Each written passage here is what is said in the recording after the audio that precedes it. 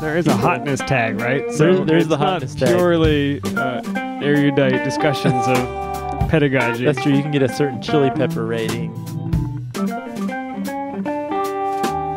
Welcome to Hello PhD, a podcast for scientists and the people who love them. This week, should advisors be held accountable for lousy mentorship? Stay with us. Also, yes, they should.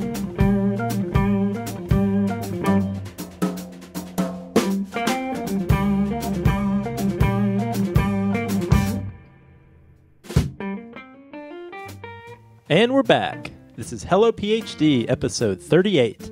I'm Joshua Hall, And I'm Daniel Arneman. and we'll discuss the human side of science and life in the lab.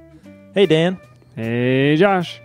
we got a cool beer for a spring day. Much better than a hot beer on a winter day, I guess. This is the New Belgium Citradelic Tangerine IPA. Oh, we've been uh, giving some love to the New Belgium lately, haven't we? Yeah, I saw this one. It looked cool. The picture. Um, have you? Do you ever listen to Freakonomics, the podcast, or read the book? Yeah, yeah, sure thing. You know how they have the apple and you cut in Mm. half and it's an orange But it's an inside. orange apple. Well, this one on the label, there's a hop with a tangerine inside. That is disturbing. So I had to have it. So that's what we're drinking tonight, Dan. What do you think? Nice. Uh, it's an IPA. You haven't heard me complain yet. Yeah, this is a very drinkable one, I think. Aren't they all, though? I don't know if that distinguishes them. It's not poison. It's not poison. I think this is a good one for sitting on the back deck, sharing a beer with friends. Yeah, more of a summertime drink. Yeah, I like definitely, definitely. Well, Dan, I came across an article a few weeks ago that really piqued my interest. It made me think about a lot of different things. I'd love to get your opinion on. it. I thought our listeners might enjoy enjoy hearing it. Well, I did hear the intro, so I have a clue about what we're about to talk about. Yeah, so this is an article that was written by an anonymous academic uh, in December. Was it you, Josh? Who knows? Hard to say, right? Hard to say, yeah. Admit to nothing. But this was in The Guardian, and the title is Bad PhD Supervisors Can Ruin Research. So, why aren't they accountable? That is a fantastic question. We have talked many times on the show about how a, a bad research relationship can make you leave science, which is a terrible reason to have to leave science. So, I thought we could just dig into this article, and I think there's some interesting themes and interesting discussion that comes out of this. So, I guess, Dan, that's really the crux of this whole thing is we all know people who went into grad school gung ho about science, gung ho about research as a career, but then due to a bad mentoring relationship, really got burned out and ended up saying, you know what, the heck with this. I'm going to go do something else. Yeah, and normally you would hope that if there was this kind of bad apple with an orange inside in your institution, you would want somebody to notice it and something to be done about it so that they didn't burn out student after student after student. I mean, you're talking about potentially hundreds of different people that are now cast out of science because they got into the, you know, randomly wrong lab. Yeah, and you know, in a lot of cases, it can just be a bad personal fit, right? Like That's true, yeah. It's, it sometimes it's it takes two. Yeah, that's absolutely true. But then other times, possibly could be research advisors out there who have maybe a not so great track record of student training, but there's really no mechanism in place, A, to formally identify that or even keep up with it. Um, and B, not that I know of, is there any formal way to do anything about it? So is that just inherently the problem with this relationship that it's you know, as a student you come in and you are expecting to be mentored. Um, there's this imbalance of power and you are, you don't know what to expect and and so however you are treated you assume this must be normal. I guess sometimes PIs yell at students. That's just a thing that happens. Well, you know, Dan, I think that is one of many reasons why it's very important for students before going into a PhD training program to have had multiple research experiences prior to that because having multiple research experiences, you know, one I guess one effect of that is that you've also had multiple mentoring experiences and you start to get a feel for not just what your personal style is, but also I guess what is okay and what is not. If you've experienced good mentoring, then you're going to be much quicker at identifying bad mentoring if you come into contact with it. Yeah, I'm recalling the interview we did with Natasha Snyder um, several months ago, the the faculty member, and one of the things she really highlighted was she had known really great mentors. And so every time she made a move to a different lab, that was front and center in her mind. And she said, you know, I went to this lab where the person said, I don't yell as much as I used to. And she said, I'm out of there. So she had that experience prior and knew this is not right. It's not okay. I don't need to put up with it. Yeah. And that is so key because, you know, Dan, I think as is obvious to us and probably to our listeners, with graduate training, with PhD training especially, that relationship between the trainee and the research mentor is so critical and that really can make or break not just not just the experience you have in graduate school or in your postdoc but really in your career. It can set your career on a trajectory either good or bad. So one thing you mentioned dan that i think is worth worth saying again is we have to acknowledge that there is an imbalance of power in that relationship. It's not necessarily a bad thing. I think all supervisory relationships have this balance of power, but think it's important that mentors, that supervisors can acknowledge that this actually exists. And it's important to look for a supervisor who's going to, I guess, leverage that imbalance, leverage, leverage their position to really empower and support their students. Yeah, I have a, a personal view on leadership. And to me, it is somebody who is removing the barriers in the way of their team and they're they're recognizing um, where they can help their team develop. And i think that's what mentorship is. It's not this i'm in charge of you so now i will hit you with a stick. It's how can i help you grow to be the best whatever you want to be? How do we get you there? Yeah i love that. And that really goes along with something i heard i don't actually even remember where i heard this but it was the difference between a boss and a mentor. And the idea was if you have a, a supervisor who who really has the mindset, what can my employees do for me in my career? That's just a boss. Yeah, and we've all known those people. Absolutely. But what you're looking for is a supervisor who really leads from the vantage point of how he or she can advocate, empower, advance your career, and really leads from a point of view of what can I do for the people under me, their career. That's what you're looking for. That's a mentor. That's right. I was at a meeting recently and I was having a conversation with a colleague and he was very particular about not using the term mentor when what he really meant was research advisor. And so, oh, just because he, that label is too good for how that relationship yeah, yeah. works. And so we had a conversation about it after, and this really stuck with me. And his point of view was research advisor is always an accurate term because it describes that functional relationship between a trainee and their PhD advisor. But the term mentor that is a term, that is a role that has to be earned through a certain type of action that the advisor displays or doesn't display for their trainee. Yeah, and mentorship may be in the eye of the beholder. Yeah, absolutely. Josh, you know that that it doesn't have to be such a directly aggressive uh, research advisor that is a problem. I think a lot of times if the person is really concerned about their own career, maybe they're just not in the lab at all. And so you're getting no input, no feedback. You write an email, it goes into the void, and you never hear back. And and you're again, you're not developing the way you should be because they're just not there.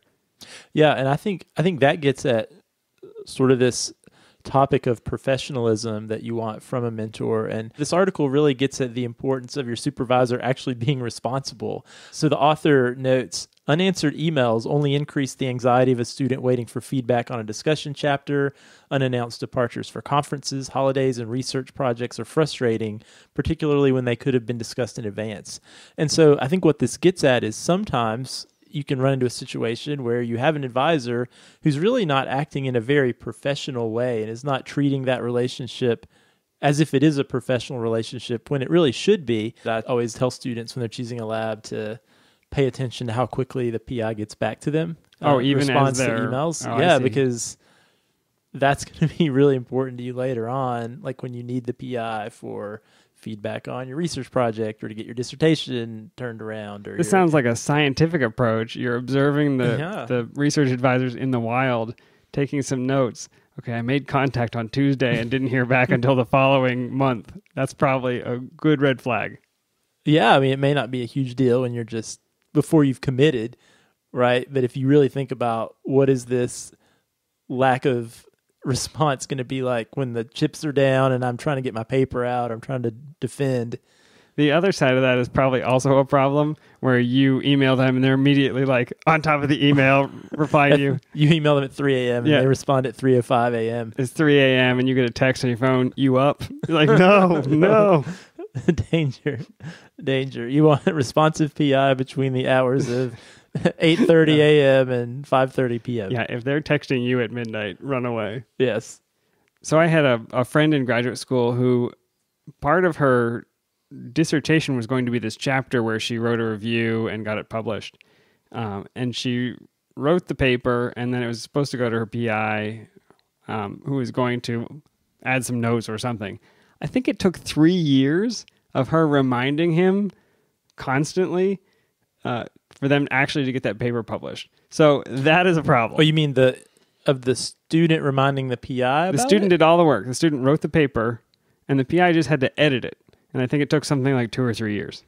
Wow, how did that turn out for the student? Um, fine. I mean, she she managed to get done and get out, but it, it was. I remember her being so frustrated that she had done all this work. It was right there, and he just wouldn't take the time to do it.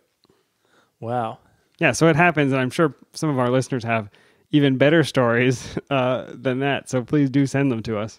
Yeah, so I think you know what's worth talking about is how this lack of mentorship or even poor mentorship how that really impacts students or postdocs who are are there really at this stepping stone in their career trying to get from point A to point B because I think it can really be a roadblock.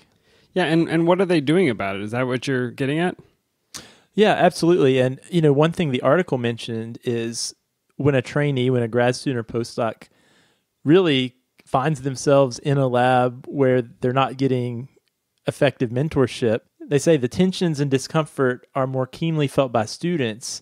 We can't simply turn away from an errant supervisor and go to another, but we also can't talk freely about how we feel. This is akin to bad mouthing your boss. Yeah, I've been known to try that once or twice. Well, and you know, I think I think that does go to to what do you do about it? And yeah, know, it's it's all whispered in the hallway. I mean, I think I think among current students and maybe even um, students in the same lab, I think there is a sense, there is a camaraderie or a knowledge about what's going on. But the moment a new student lands, you you zip up and you don't tell them all of the details of of how their future is about to play out. Yeah, and you know, sometimes you know it's too late for you if you're the student who's already in the lab. Yes, you can complain about it in the hallway or even warn the rotation student, which you may or may not do. But still thinking about you as an individual who came into graduate school wanting to go do something, right, and needs that advisor really to advance your career. What do you do? Yeah, changing advisors is a drastic step. I think. Yeah, I mean, and I'm thinking too, you know, at least with the grad students, you can in most types of programs these days, you can do your lab rotation, so maybe you can sniff out some of these situations a little more because you at least Yeah, have a tough. 3 month trial yeah. period. But I think it's even harder for postdocs, I would imagine, to to really figure this out and not get caught up in a bad mentorship situation. You've got to figure that out at the poster session, at the meeting, before you sign the paperwork. yeah, no, absolutely. So besides whispering in the hallway, the article mentions Skywriting. hire one of those people to pull the banners Yeah. that goes over the football game at your university. I'm renting out dirigibles anyway, so it doesn't matter. Just call me. So, so the article mentions a couple of suggestions, and one is that universities implement some kind of performance evaluations for the research advisors. As far as I know, Dan, quality of mentorship or effectiveness of mentorship is in no way directly tied to tenure acquisition. I know there are grants and papers published, and I guess you could argue indirectly someone who's just a terrible mentor is going to have unhappy lab workers and likely won't be as efficient. But I think we also know that that's not necessarily the case. There are labs that really put out, they're very productive, but the people in the lab aren't very happy. Yeah, I mean, we should we should highlight the fact that uh, I mentioned to my wife we were going to be talking about holding uh, PIs accountable, and she said they are accountable. They're accountable for publishing and for getting grants, and and and that is true. There is there is pressure on a PI to do those things, but like you said, not necessarily to train students in a wholesome, healthy way. Yeah, and and I think it goes back to what we talked about, you know, at the top of the show, and that is you're correct. The research advisor themselves, for their own career, they need the papers, they need the grants. But an effective mentor is not only thinking about those things, but is also thinking about what's in the best interest of my trainees. How can I understand who they are and where they want to go as an individual, and help them get there while at the same time they're helping me. And I would argue that mentors who are effective at that probably have more productive and, and happy employees. It seems like that should be measurable in some way, in, in the sense that you can have an assessment of mentorship effectiveness and then read all, read out all of the outcomes like how many papers you've published and your Mhm. grant funding things like that maybe that's some research you should work on josh That sounds interesting to me. it does is there no is there no rate my professor for pis Well, so if, for those of you who aren't familiar, although I assume most everyone's familiar with ratemyprofessor.com, I actually went on there today because I wanted to know if it was still a thing.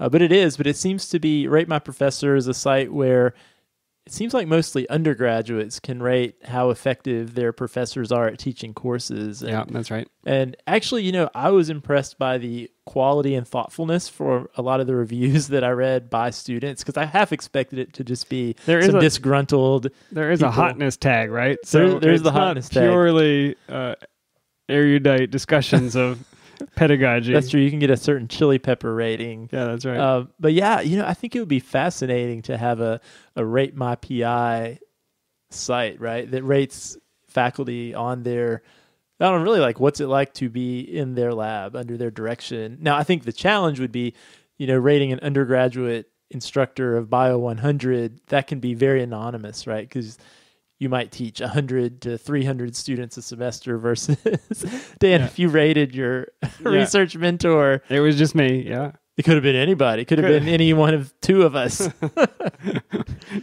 both of us feel this way. Yeah.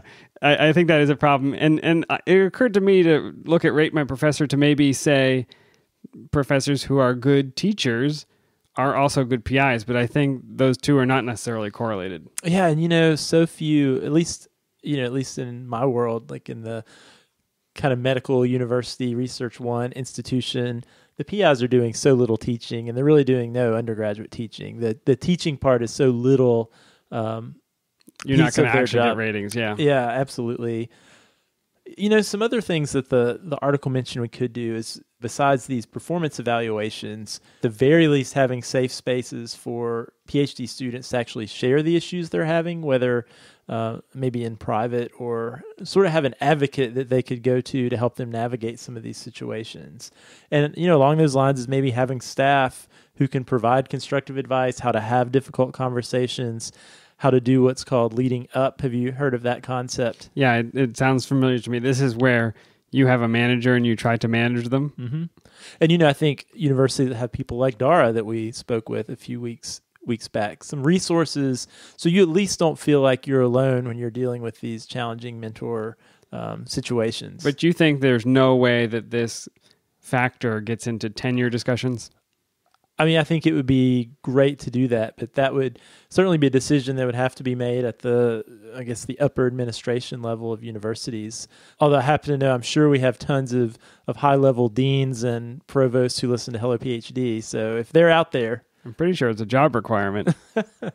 well, if you have feedback or input on this, uh, or if you have ideas for how to uh, more coherently assess the mentorship skills of a, of a research advisor, do write to us. The email address is podcast at hellophd.com. I think the last note I want to end on is if you're out there and you find yourself in a lab situation where you feel like the mentorship is really lacking between you and your advisor, maybe it's maybe it's a toxic situation, you're feeling like the feedback's not constructive but actually is destructive. Or if it's non existent, like we talked about, you just feel like you're all alone and not getting any advice. Um, or if maybe it's just not the right mentorship for you. Maybe there are other students in the lab that are doing fine, but based on sort of your needs and expectations, it's not a good fit for you. Remember, you can always change advisors, right? If this is what you want to do, if science is where you want to be and the career you want to pursue, but the environment you're in now is not helping you get there, don't forget you can always change your mind. There are plenty of people out there who have changed and found kind of new life in graduate school um, after switching gears and finding a new environment. Yeah, you don't have to leave the field because of one bad advisor. And it might slow you and down. And you shouldn't. You shouldn't. You shouldn't. And you Stick know, it to them. Stay with science and Yeah. show them. and it might cost you six months or a year, but in the long run, you could be way better off. Are you ready for an etymology puzzle? I'm always ready for an etymology puzzle. Oh, good. Last week's clue was these nocturnal primates are the ghosts of Madagascar. Ooh. Good ghost noises. Yeah, I have kids now. They like the movie Madagascar. Okay, well, you may get this answer if you can name some of the Madagascar creatures. Lemur. That is correct. Really? Yeah, it really is. Really? Yeah. Is that, is that I haven't seen the movie, is it? Is no, I just creatures? named an animal. I don't know. well, there you go. Is that You really got- right? That is absolutely correct. So Send me my gift card. uh, it's on its way across the room to you. I can't believe I that right. I really didn't look at that. Lemur comes from I just named like the first animal that came Yeah, no, that's right. That's awesome. Lemur comes from Roman mythology.